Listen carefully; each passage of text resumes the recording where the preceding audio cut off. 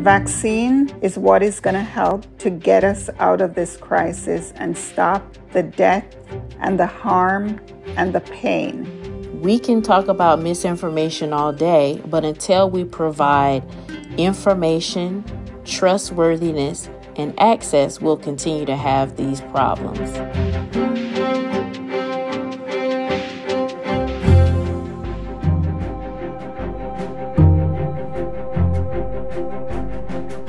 Listening to Epidemic, the podcast about the science, public health, and social impacts of the coronavirus pandemic. I'm your host, Dr. Celine Gounder.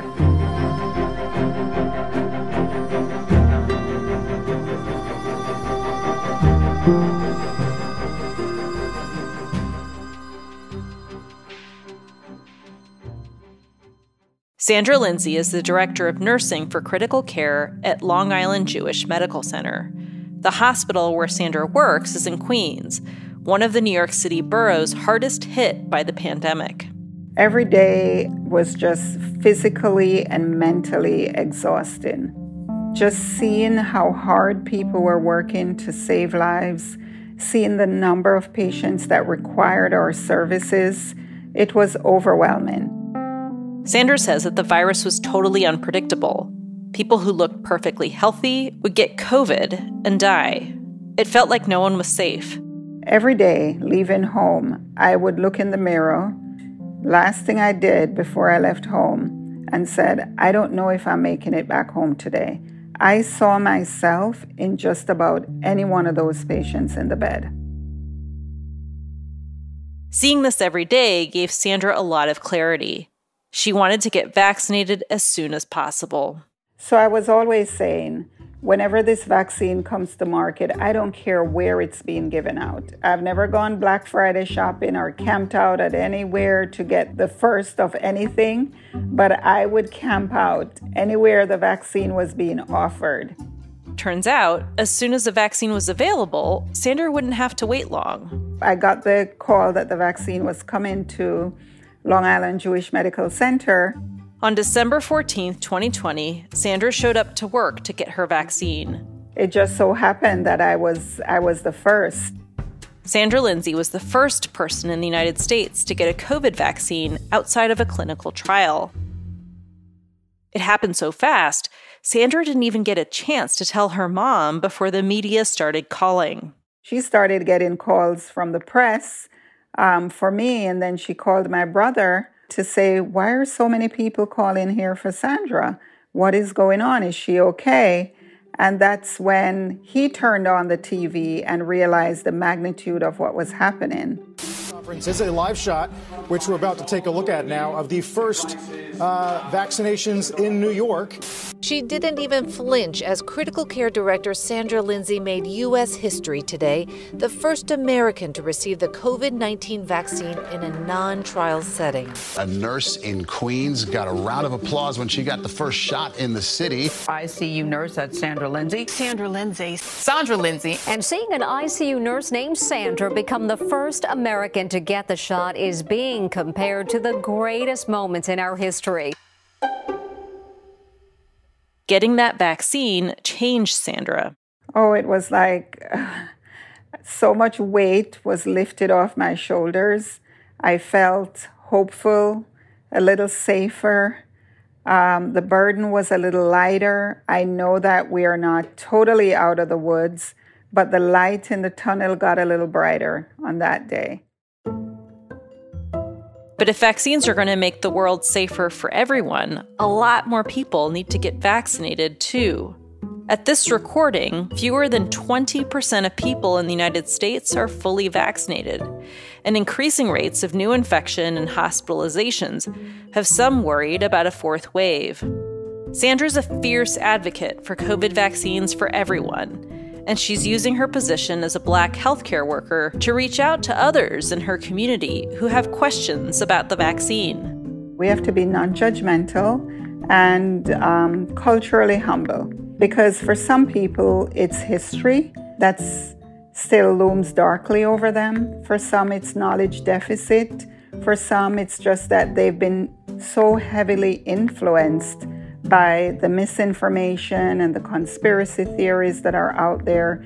So you really have to take time to assess and engage in conversations with people as to why they are so anti COVID 19 vaccine.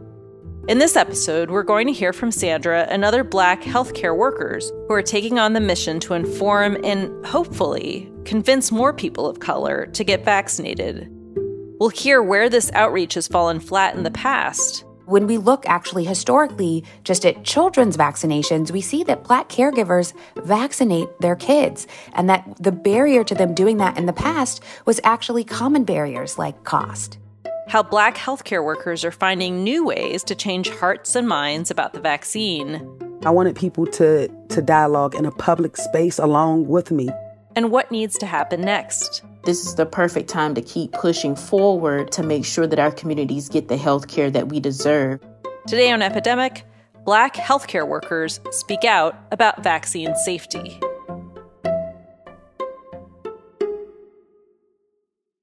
Reports show that black Americans are less likely to get vaccinated than the general population.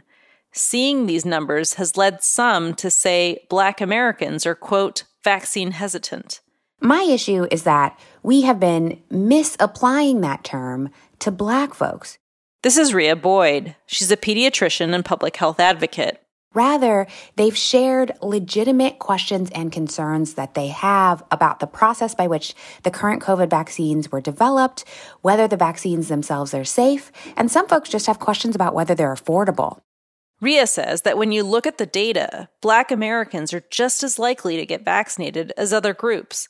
A program in the 1990s to eliminate disparities in childhood vaccinations shows how. I was so thrilled to be able to share this data as a pediatrician. Back in the 1990s, our national government in the US said, We know that there are disparities in who has access to vaccination. There's disparities based on children's insurance level, there's disparities based on children's, you know, income and socioeconomic background, and there's really persistent disparities around children's racial and ethnic background. The federal government created the Vaccines for Children program to address these disparities. The program makes sure any child can get vaccinated for free. Quickly, the program started to narrow racial health disparities in who had access to children's vaccines. And then, since 2005, for the last 16 years, there have been no disparities in who has access to really critical, commonly recommended children's vaccines. The program covers vaccines required for public school attendance in the United States, vaccines for diseases like measles, whooping cough, and polio. So, some folks might say, well, of course, black folks get the MMR and polio vaccine because many school districts across the country require that vaccination. But it's not the same case for the HPV vaccine. HPV, or human papillomavirus, is a common infection that can increase the risk of cancer in both men and women. The CDC recommends anyone between the ages of 11 and 26 get this vaccine. But because HPV is sexually transmitted, there's been pushback from some parents, and it's not required by public schools. And so, even for the HPV vaccine, we see rates of vaccination for Black children that's like 95% or above, and little to no racial health disparity in who has access to that vaccine.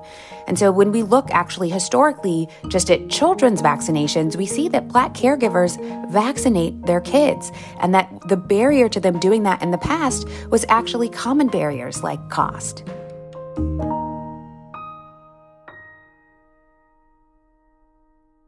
Rhea says there are other barriers to Black Americans getting vaccinated besides costs. She points to the seasonal flu vaccine as one example. For Black folks in particular, only about 4 in 10 end up getting the flu vaccine every year, whereas nationally, it's a little bit higher, maybe 50 to 60% of adults get the flu vaccine.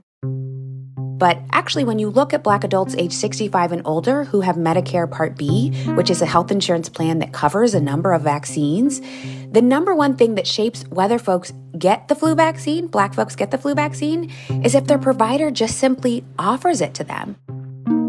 What they found is that when providers offer the flu vaccine to black adults, they're just as likely to get it as any other racial and ethnic group. And that data sits upon decades of data that told us that providers who predominantly serve black patient populations, they are the least likely to recommend preventative services to black patients, including vaccination. So, why would a provider not offer Black patients flu vaccination at the same rates as they do other patients? You know, why would a provider not offer routine screening mammograms to Black women, despite the fact that we know Black women have higher mortality rates when it comes to breast cancer, despite not having a higher incidence of breast cancer? Why wouldn't doctors offer children who come in with broken limbs pain medication at the same rate that they would offer a white patient. I mean, these are the challenging questions that we have to start to confront in healthcare because they're all a manifestation of how racism shows up. Rooted in this is the kind of healthcare available to many black people in the United States often it shows up kind of structurally baked into how systems that serve predominantly black populations are under resourced to actually address their needs. So perhaps providers might not offer it if they're rushed during the visit because they have to see so many patients in a day. So perhaps they don't get time to actually deal with preventative services. They're really just offering people crisis care cost and lack of access to quality preventive care have been big hurdles to vaccination among black Americans. Rhea says that until our healthcare system acknowledges these disparities, debates about vaccine confidence can only achieve so much. We have spent, as a healthcare system, tens of millions of dollars on trying to address vaccine hesitancy, quote unquote, in black communities, instead of actually getting to the root of the problem, which is that folks need access to the vaccines and they need access to credible information about the COVID vaccines. We'll hear how Rhea and other Black healthcare workers are helping provide accurate information that speaks to their community's concerns. That's after the break.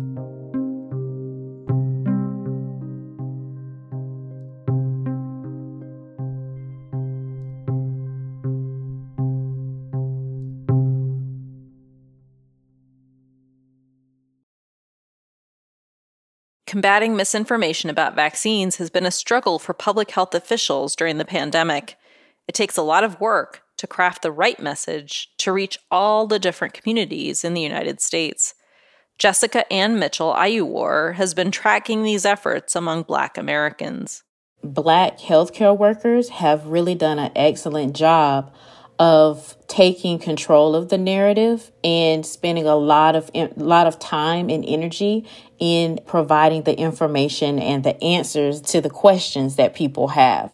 Jessica is also the founder of the National Black Cultural Information Trust.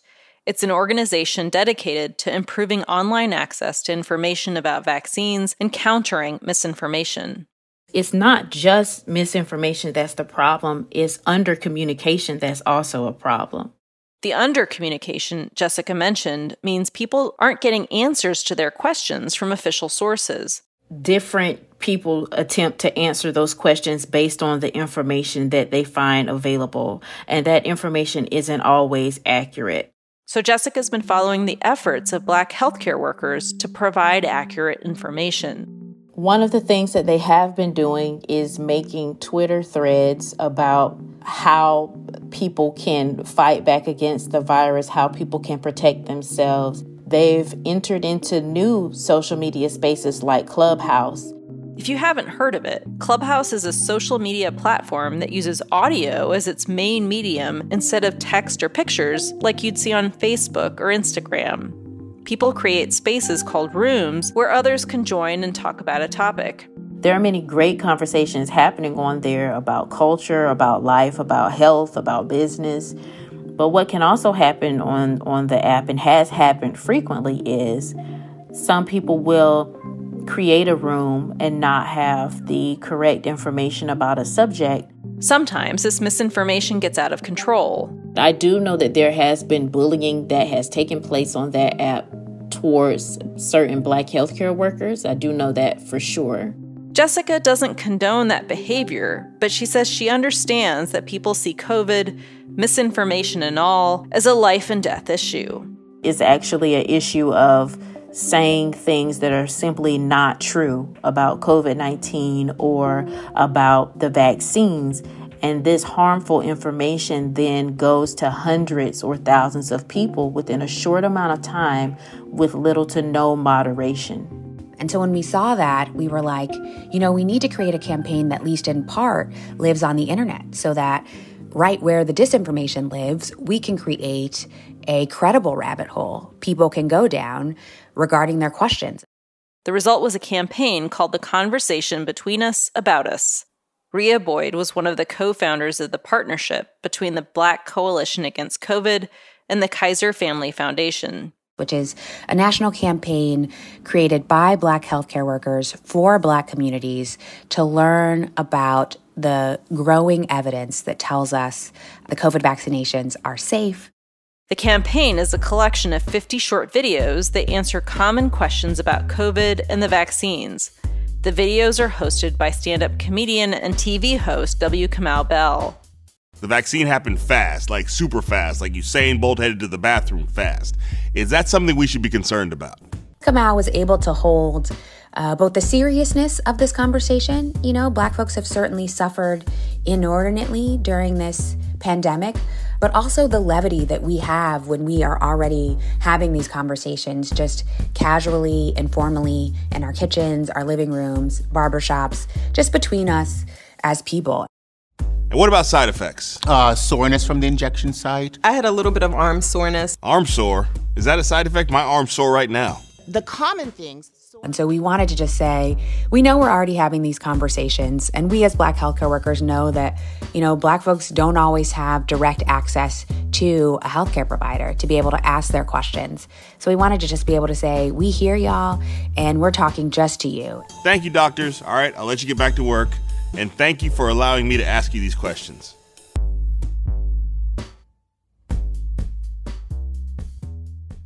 Black doctors and scientists have an important role when it comes to informing their communities and the public. But stories about people's individual experience with the vaccine can go a long way too. My name is Tierra Rich. I am a educator and activist from Washington D.C. who resides in Philadelphia, Pennsylvania. Tierra is a sexual health educator in Philadelphia schools. My job was basically saying, hey, the schools are probably going to open back up and we're going to probably need you to go back in there. And just like anybody else, I was like, uh, I'm pretty scared to go back in there without being vaccinated. Tierra asked her doctor about the vaccines. Then Tierra spoke with a cousin who works in the pharmaceutical industry. And during Thanksgiving Zoom, he was able to basically educate my family on the Pfizer vaccine it was very interesting where I wanted to say, all right, let me go do my own research. Tierra learned about the negative aspects of American medical racism, but she also found positive stories too. One thing Tierra learned in her research was a story of an enslaved man from West Africa named Onesimus. I did not know about Onesimus growing up, actually. Onesimus is credited with introducing the concept of variolation to the United States. Variolation was a precursor to vaccination and helped protect many from smallpox. So, this is not something that has been talked about widely in the black community. Definitely something that I think we should teach more of. So, when the time came, Tierra felt confident about the vaccine. So, I thought about it long and hard, and I discussed it with my partner, and I decided to go and get the shot. She got the Pfizer vaccine on Christmas Eve 2020.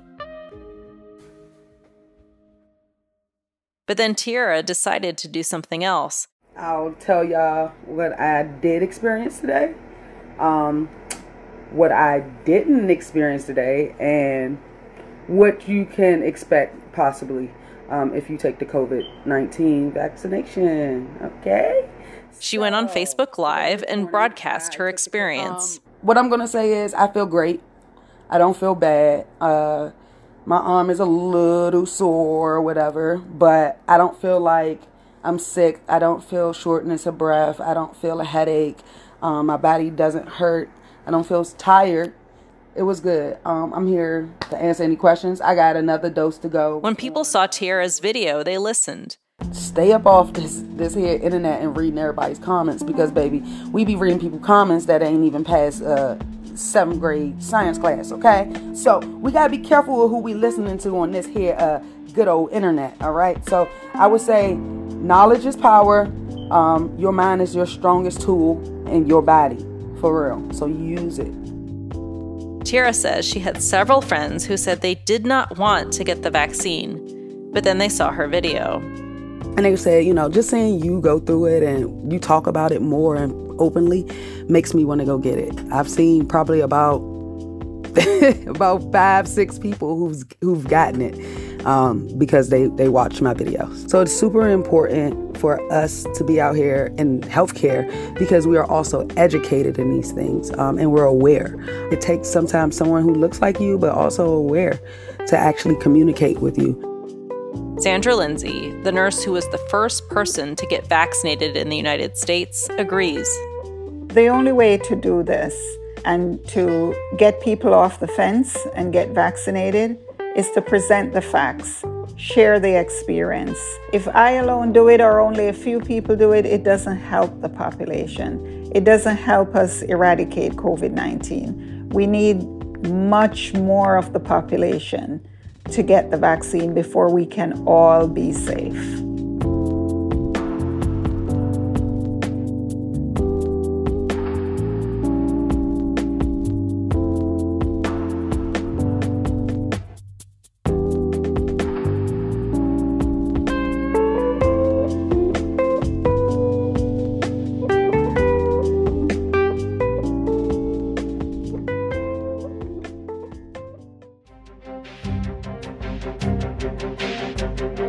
Epidemic is brought to you by Just Human Productions. We're funded in part by listeners like you. We're powered and distributed by Simplecast. Today's episode was produced by Zach Dyer and me. Our music is by the Blue Dot Sessions. Our production and research associate is Tematayo Fagbenle. Our interns are Annabelle Chen, Brian Chen, Julie Levy, and Sophie Varma.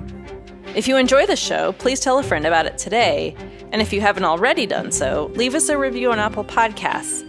It helps more people find out about the show. Follow Epidemic on Twitter and Just Human Productions on Instagram to learn more about the characters and big ideas you hear on the podcast. We love providing this and our other podcasts to the public for free, but producing a podcast costs money, and we've got to pay our staff. So please make a donation to help us keep this going. Just Human Productions is a 501c3 nonprofit organization, so your donations to support our podcasts are tax deductible. Go to justhumanproductions.org/donate to make a donation. That's justhumanproductions.org/donate. And if you like the storytelling you hear on Epidemic, check out our sister podcast, American Diagnosis. On American Diagnosis, we cover some of the biggest public health challenges affecting the nation today. Past seasons covered topics like youth and mental health, the opioid overdose crisis, and gun violence in America. I'm Dr. Celine Gounder. Thanks for listening to Epidemic.